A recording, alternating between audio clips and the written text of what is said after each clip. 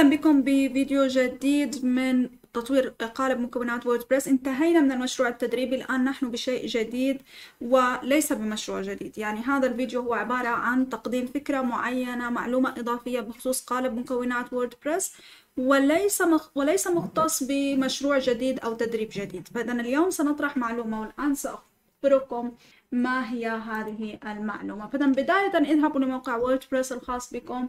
أي موقع تريدون؟ لا مشكلة بذلك. ربما نفس الموقع الذي تعاملنا معه وقت سابق الذي قمنا بإنشاء عليه المشروع التدريبي أو موقع آخر. لا مشكلة. سنذهب إلى القوالب. ونثبت القالب الافتراضي. ها هو مثبت. لاحظوا 2024 ها هو مثبت. تأكدوا أنه مثبت. هذه هي القصة. جيد. الآن إذا ذهبنا إلى المحرر فهنالك شيء أريد أن أخبركم إياه. اذهبوا مثلا القوالب وأي قالب من هذا مثلا؟ أي قالب تابع ل 2024 قوموا بالنقر عليه واذهبوا إليه.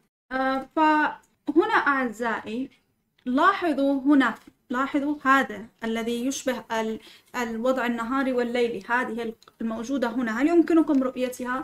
هذا هذه الإشارة ذهبت ذهبت منا لكن أعتقد ربما اسمها التنسيقات. عندما تقوم بفتح القائمة بهذا اسمها التنسيقات. إذا لم تكن القائمة مفتوحة فهكذا يكون شكلها.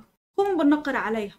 فإذا لاحظوا سيكون هنالك شيء اسمه التنسيقات. إذا قمنا باستعراض التنسيقات آه، لاحظوا أن هنالك أكثر من تنسيق.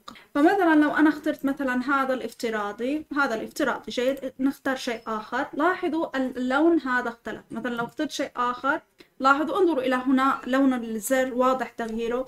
إذا نظرنا إلى هذا لاحظوا كلما أنا أقوم بتغيير شيء ما style معين يتغير شيء معين. الشيء البارز بالتغيير هو اللون لكن أيضا تغيرت أشياء أخرى إذا لاحظتم. لاحظوا مثلا بالافتراضي آه، فلاحظوا الزر شكله أيضا اختلف. فما هذه التنسيقات؟ هذا الشيء الذي أريد أن أن أقول لكم آه، عنه. فإذا يمكن إضافة عدة ألوان للموقع عدة تنسيقات للموقع ليس تنسيق واحد. يعني نحن في الوضع الطبيعي إذا ذهبنا إلى قالب 2024 من ناحية من آه، ناحية الملفات أو من جهة الملفات ها هو جيد. هكذا لتروا وإذا نظرنا للملفات لاحظوا أعزائي يوجد ملفات كثيرة. من ضمنها ملف theme.json الذي نحن تحدثنا به وكان لدينا قسم كامل عن theme.json إذا قمنا بفتح ملف theme.json هذا بالقالب الافتراضي. إذا قمنا بفتحه فهو ملف theme.json عادي فيه بعض الخصائص التي نحن تعلمناها. من أهم الخصائص التي تكون موجودة ب theme.json هي الألوان. هي الألوان. لاحظوا فيه أيضا الألوان وهذه القصص. طبعا نحن تعلمنا حول هذا الموضوع بوقت سابق. تعلمنا عن كثير من الخصائص بثيم دوت جيسون. هذا ليس موضوعنا الآن لكن نكرر أن theme.json يمكن أن يحتوي أو يحتوي على التنسيقات أو يحتوي على ال style. الأساسية بالموقع ال style ال... التي يبنى عليها موقعي فعليا مثل الألوان الأساسية آه، مثل الأبعاد الأساسية التي أريدها بالموقع. يمكن تغييرها لاحقا نعم يمكن تغييرها لكن الشيء الأساسي الذي أريد أن أعرض لو أردت أنا كمطور قالب أن أعطي للأشخاص الذين يستخدمون القالب الخاص بي أريد أن أعطيهم خيارات أن يختاروا الألوان التي يريدونها. هم فعليا يمكنهم اختيار الألوان. من ناحية مثلا إذا ذهبوا إلى هذا يمكن هذا لوحدها أن يغيروا الألوان صحيح. لكن أنا أريد أن أعطيهم خيارات خيارات كاملة تطبق على كل الموقع. فيمكن أن أنشئ عدة ستايلات. هذه اسمها تنسيقات أو بالإنجليزية styles. هذه ال style أين موجودة؟ إذا ذهبنا إلى قالب 2024 سنجد هنالك مجلد اسمه styles.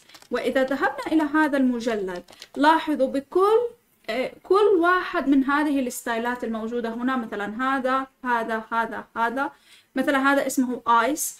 أيضا يوجد هنا style theme dot json هنا اسمه ice. إذا ذهبنا لملف ice هنا هذا الملف هو نفسه ملف theme dot json نفسه. نفس ملف theme dot json لكن ليس اسمه theme dot json اسمه ice أو يمكن أن نسميه أي شيء. وفيه آه، قيم مخصصة يعني ألوان مخصصة أخرى غير القالب آه، غير الموجودة في theme dot json دعونا نقوم بتطبيق ذلك بشكل سريع جدا لكن هذه المرة نريد تطبيق ذلك على قالب آه، ال photographer الذي قمنا بإنشائه بوقت سابق. فإذا ذهبت إلى ال photographer جيد. فلاحظوا أن هنا لدينا ملف theme.json الشيء الذي أنا أريد أن أقوم به أريد أن أقوم بإنشاء مجلد هنا اسمه styles فقط وسأقوم بالنسخ theme.json بداخل styles لكن سأسميه مثلا style1.css أو مثلا يمكن أن نسميه باسم الألوان أو أي اسم مناسب. فإذا ممكن أن نسميه red.css نفس الشيء هنا أريد أن أقوم بإنشاء يعني style طبعا أنا كتبته dot CSS خطأ هي dot json هو ملف json عفوا. فبالتالي الآن لنذهب لمجلد styles لأريكم الشيء الذي قمت به.